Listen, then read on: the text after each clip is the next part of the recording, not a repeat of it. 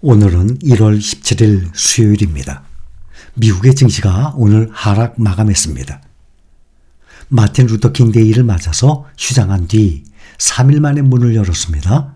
크리스토퍼 월러 연방준비제도 이사의 매파적 발언에 치솟은 미국 신면물 국제금리 또 주요 기업들의 지난해 4분기 실적 보고서가 주목을 받았습니다.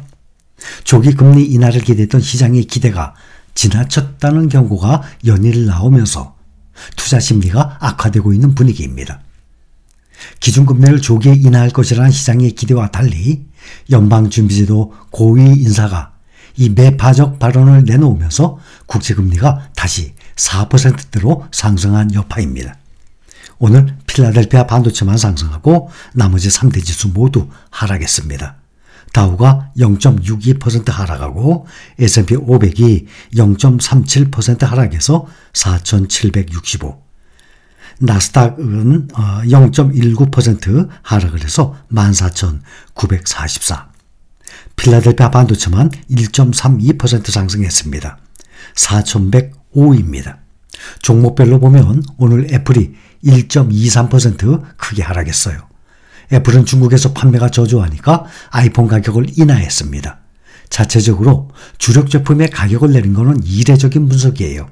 앞서 지난주에 애플은 마이크로소프트의 시총 1위 자리를 내주기도 했습니다.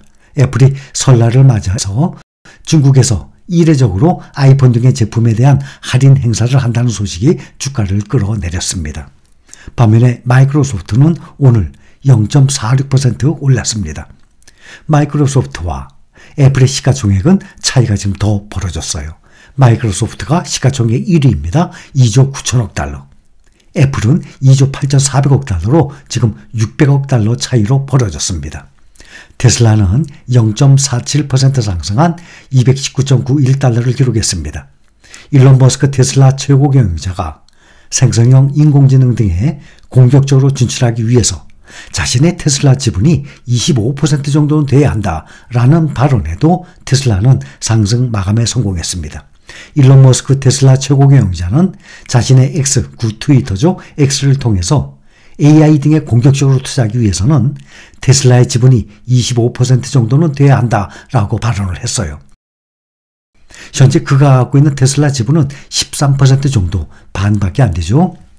이 같은 지분으로는 AI 등에 공격적으로 투자할 수 없다라고 덧붙였습니다. 의결권 부족으로 테슬라 내에서 AI 등에 진출할 수 없을 경우 독립회사를 설립해서 AI 등 신사업에 진출할 수밖에 없다라고까지 말을 했습니다. 이 같은 소식이 전해지자 테슬라는 개장 초 급락 출발했는데 오후 들어서 저가 매수가 유입됨에 따라서 상승 마감에 성공했습니다. 테슬라는 중국에서 경쟁 격화 등으로 올 들어 지금 11.5% 급락을 하고 있어요. 최근 연일 하락하고 있었습니다. 이에 따라서 저가 매수세가 유입이 됨에 따라서 머스크의 발언에도 상승 마감에 성공하는 것으로 보입니다.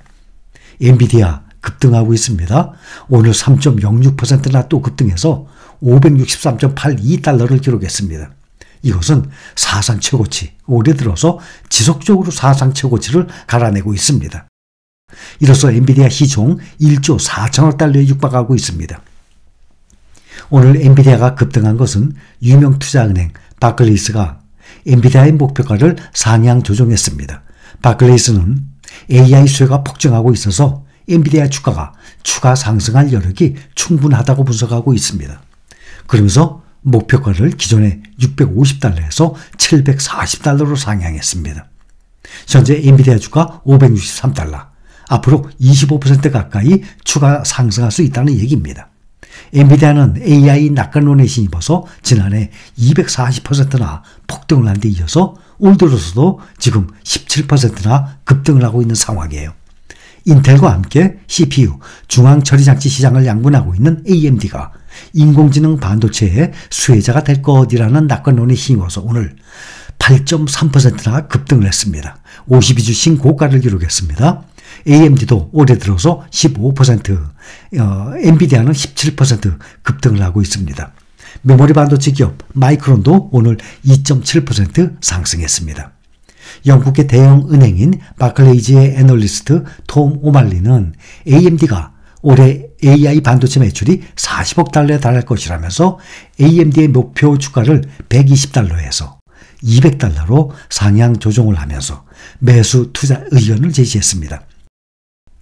미국의 금융투자회사 키뱅크 캐피털 마켓도 AI 수혜주가 될 세계의 칩 회사 중 하나로 AMD를 꼽으면서 목표 주가를 170달러에서 190달러로 상향 조정했습니다. AMD 오늘 현재 주가가 158.74달러를 기록하고 있습니다. 현재 AI 칩 시장은 엔비디아가 장악하고 있지만 AMD가 새로운 AI 전용 칩을 잇따라 발표하면서 엔비디아를 맹추격하고 있는 모습이에요. 지난 금요일에 이어서 오늘도 정규장 시작 전에 미국 대형 은행들의 4분기 실적 발표가 이어졌습니다. 골드만삭스는 시장 예상치를 웃도는 실적을 발표했어요. 4분기 주당 순이익 EPS 5.48달러를 기록해서 시장 예상치 3.51달러를 크게 웃돌았습니다. 자산 운용과 주식거래 순이익이 늘어나면서 실적이 개선됐다고 밝혔습니다. 지난해 같은 기간보다 4분기 EPS도 51%나 급증했습니다. 시장의 기대를 뛰어넘는 주당 순 이익과 매출을 보고한 골드만삭스 주가가 0.71% 올랐는데 반대로 모건 스탠리는 시장 예상치를 밑도는 실적이 나왔습니다. 4분기 주당 순이익이 0.85달러를 기록해서 지난해 같은 기간보다 30% 이상 급감했습니다. 4분기 EPS 예상치 1.01달러를 크게 밑돌았습니다. 모건스탠리의 주가는 4.16%나 크게 떨어지는 등 엇갈린 모습을 보였습니다. 현재 S&P 500 기업 가운데 이제 30개 정도가 4분기 실적을 발표했어요. 그 중에 78%가 예상을 상회하는 모습을 나타내고 있습니다. 지난해 11월 말 연방준비제도의 피벗을 기대하기했던 크리스토퍼 월러 이사가 매파성 발언을 내놓으면서 시장에 찬물을 끼얹었어요. 연준 내에서 매파 성향으로 꼽히는 크리스토퍼 월러 이사는 인플레이션이 중앙은행의 목표치인 2%에 근접을 했지만 낮은 인플레이션이 지속될 때까지는 금리 인하를 서두르지 말아야 한다라고 말했습니다. 그는 또 금리를 과거처럼 빨리 내릴 필요가 없다면서 금리 인하는 체계적이고 신중하게 해야 한다라고 덧붙였습니다. 인플레이션이 반등을 하거나 높은 수준을 유지하지 않는 한 연방공개시장위원회는 올해 기준금리 목표 범위를 낮출 수 있을 것이라고 했지만 조기 인하 가능성에 대해서는 선을 그은 것입니다. 원로 이사는 금리 인하를 시작할 때가 되면 체계적이고 신중하게 금리를 인하해야 한다면서 이전에 많은 사이클에서 금리 인하는 종종 신속하고 큰 폭으로 이루어졌지만 이번 사이클은 과거처럼 빠르게 움직이거나 금리를 빠르게 인하할 이유는 없다라고 강조했습니다.